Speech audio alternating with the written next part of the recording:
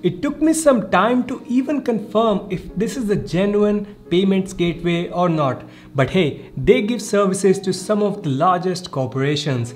Atom Payments. Ever heard of it? Keep watching the video and I will cover all major questions you have. Hey, what's up? My name is Shivam and as usual, you can find the link in the description for Payments if you want to check it out. So let's start by what Atom Payments is and why I found it difficult to verify.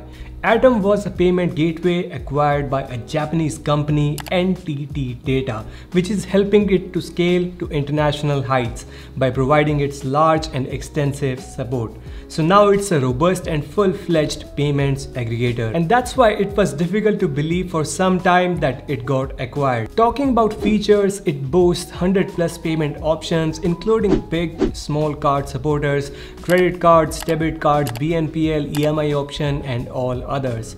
Keeping up with latest trends and development, it provides easy retry for payments. For example, it means that entering a wrong OTP will not fail the transaction. It gives another chance to enter the right OTP. The skyrocketing chances of payment it lets you send bulk invoices in one go and receive payments with links attached to the invoices. It offers Challan facility for payment collections as well. Has an app support by name of M Gala specifically for India.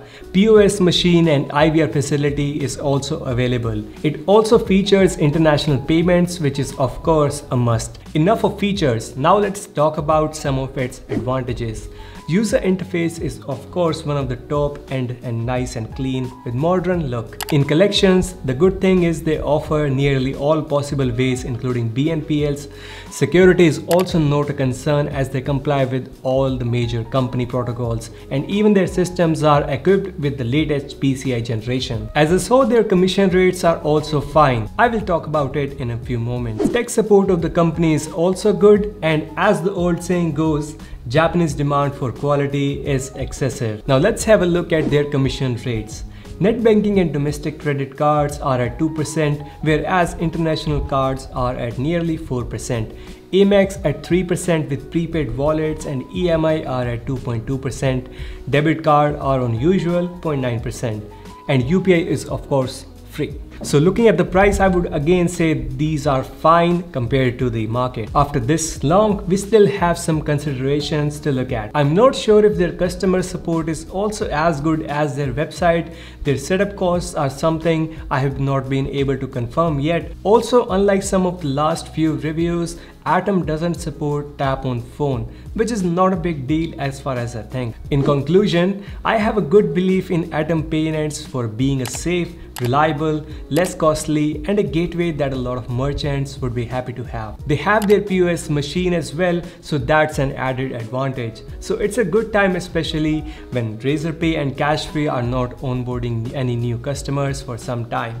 So why not give it a try? So again, if you want to try it out, then you can do so from the description below. But that's been it for today's video. Hope you guys found this video helpful. However, I will be making a full dedicated video comparing all these different plethora of payment gateways in just one video and we'll see which one is the best for you. Now if it's been done, it will appear here or maybe a random video, you can watch it. That's it for today. Hope you guys found this video helpful. Like, share, subscribe. Stay safe. Bye-bye.